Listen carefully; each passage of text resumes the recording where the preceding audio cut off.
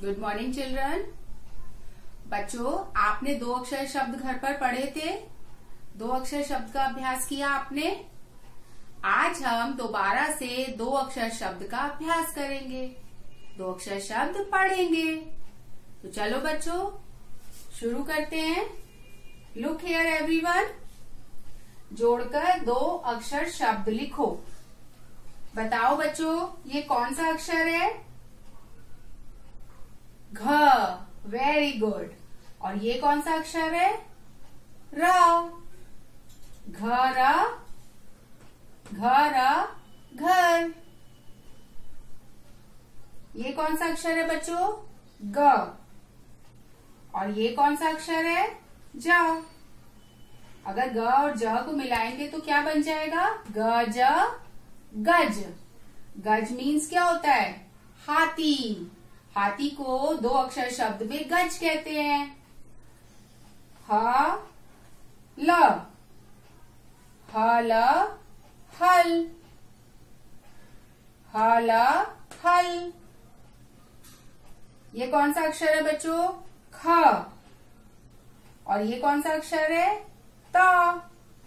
ख और त को जब हम जोड़ते हैं तो क्या बनता है? ख, त, खत, यानी लेटर यानी चिट्ठी। ज, ल। ज और ल को जोड़कर क्या बना बच्चों? ज, ल, जल। जल मीन्स पानी।